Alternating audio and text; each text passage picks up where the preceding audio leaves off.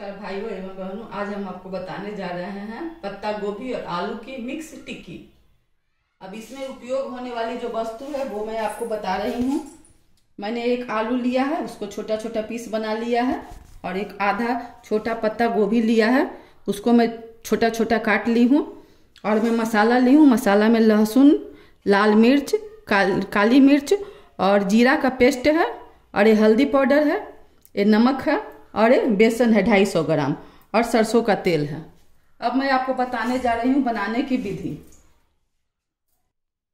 देखिए, अब हम गैस स्टोव को ऑन करेंगे। अब हम इस पर कढ़ाई चढ़ाएँगे। कढ़ाई पाँच मिनट में गर्म हो जाएगा, तब हम इसमें सरसों का तेल डालेंगे। जब तक हम क्या करते हैं कि हम मसाला तैयार कर लेते हैं। ये बेसन है इस बेसन में हम पत्ता गोभी डालेंगे।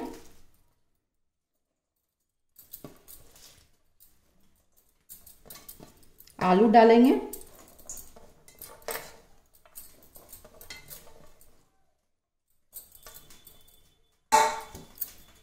हल्दी पाउडर, अंदाज से आधा चम्मच डालिए हल्दी पाउडर।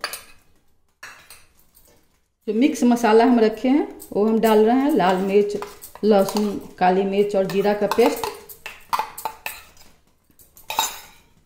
नमक स्वादानुसार, जितना आप नमक खाते होंगे। मैंने दो बार आधा आधा चम्मच डाला है। और अब इसको पानी से हम मिक्स कर लेंगे। पानी इसमें ज़्यादा नहीं पड़ता है थोड़ा थोड़ा कर पानी डालकर इसमें इसको मिक्स करना है। देखिए मिक्स हो चली है। इसको अच्छी तरह से मिलाएँगे, पूरा अच्छी तरह से। ताकि बेसन कहीं सूखा न रह जाए।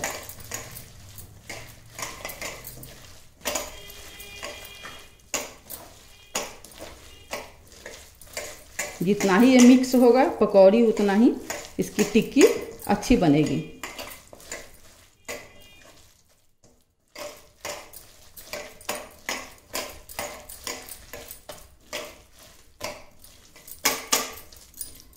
देखिए, कढ़ाई उधर गरम हो गया है।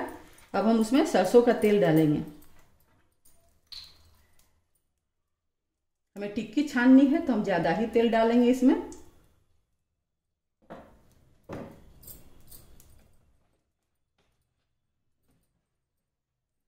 अब दो मिनट में तेल गर्म हो जाएगा, तब हम उसमें डालेंगे, टिक्की बनाकर डालेंगे। जब तक हम इसको और मिक्स कर लेते हैं। देखिए तेल गर्म हो गया है। तेल से हल्का हल्का धुआँ जैसा निकलने लगे तो समझिए कि तेल मेरा गर्म हो गया है।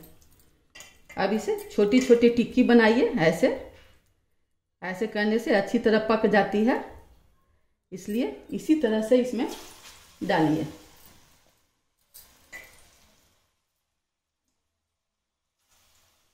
थोड़ा सा गैस के स्टेप को थोड़ा सा धीरे कर दीजिए, जिससे कि ये अच्छी तरह ये पक जाएगी।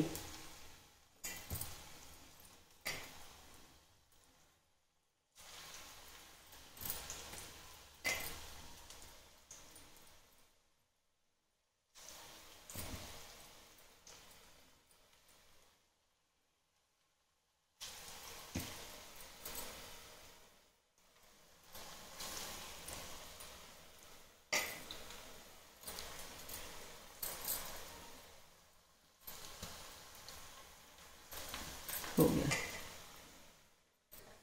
देखिए, अब दो तीन मिनट में तेल ज़्यादा गर्म था, इसलिए दो तीन मिनट मिनट में टिक्की हो चली है। अब हम इसको उलट देंगे।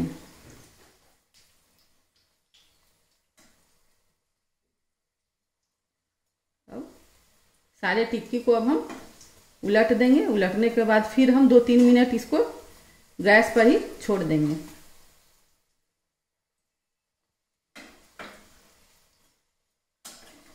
पत्ता गोभी और आलू की टिक्की बहुत ही टेस्टी होती है।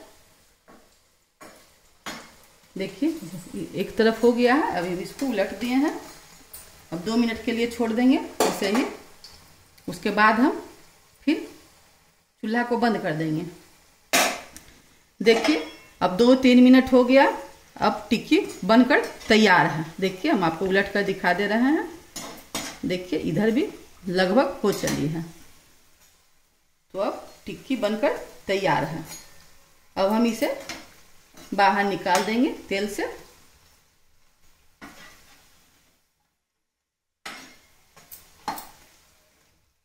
सारे टिक्की को देखिए, सारा टिक्की लाल हो गया है दोनों तरफ़ से। अब हम इसे निकालेंगे बाहर।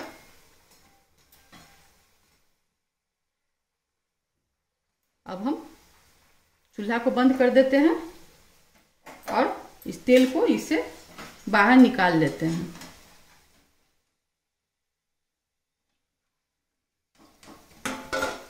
देखिए